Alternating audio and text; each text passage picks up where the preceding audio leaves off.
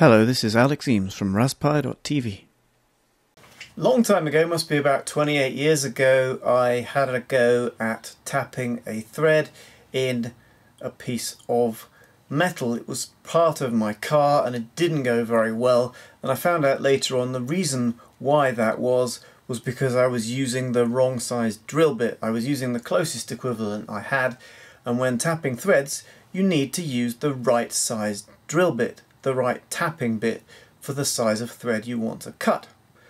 I didn't know anything about this at the time and it put me off the experience.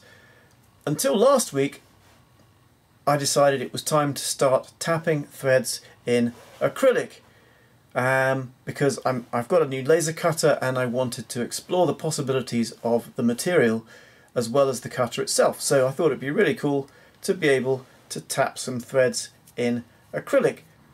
So I looked up tap and die sets on the internet and a lot of them were similar to the one I had before which I didn't get on very well with but on Amazon I found these which are pretty cool. They're spiral ones that will fit in an ordinary drill driver and in theory they can do drilling, tapping and countersinking in one variable speed operation. I wonder if that's true, I thought. So I looked at the reviews and some of the reviews people were saying that they were breaking and I thought well this isn't good but it turned out these people were using them in metal and sometimes quite hard metals.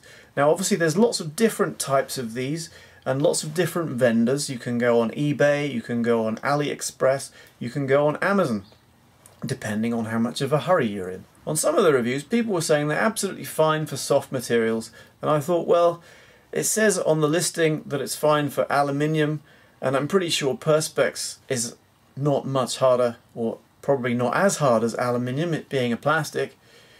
I don't want them for steel, let's buy a set and see how they are. So I bought a set and here they are and I thought I would tap some Perspex on camera to show you how they work. So let's have a go. First we're going to tap an M3 hole in a piece of Perspex and then put a nylon nut through it. Then if that goes well we'll try a little bigger one. Wish me luck. Okay, a quick squirt of WD-40 on the bit. We're going to tap an M3 hole. Let's try and get the alignment right. And gently start.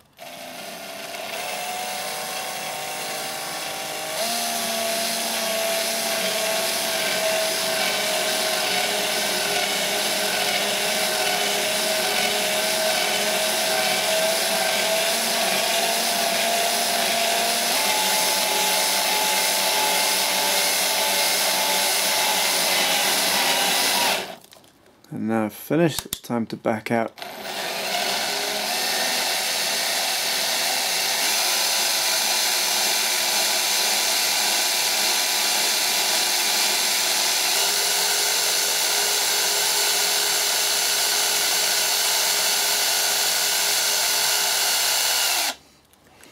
Now I'll give it a bit of a clean up with some isopropyl alcohol.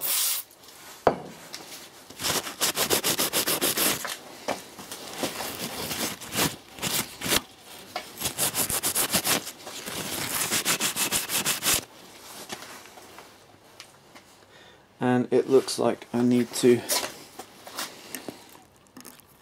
send a bolt through to chase out some of the bits. A bit more IPA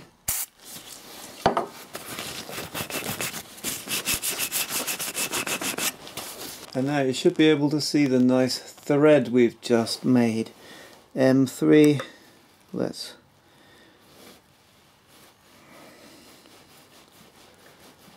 drive a little nylon bolt through. See, that works a treat.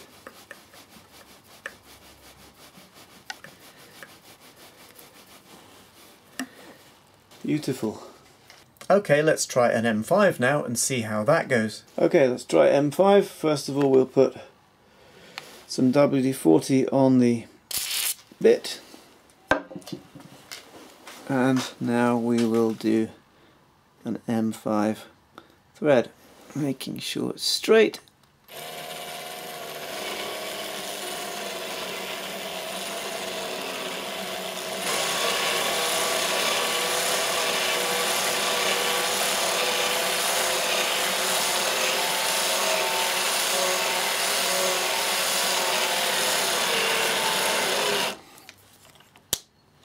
Now reverse out.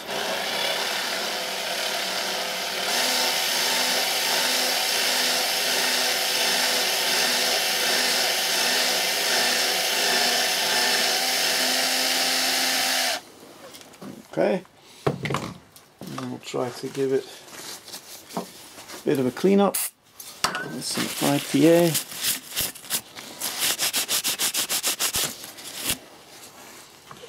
Can you see that yet? It's a bit full. So it's this hole here. Let's drive a bolt through. Now.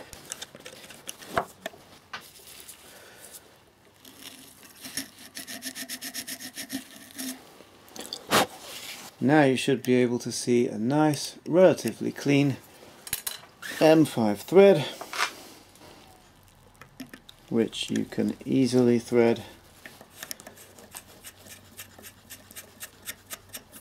a bolt into and it has some strength to it.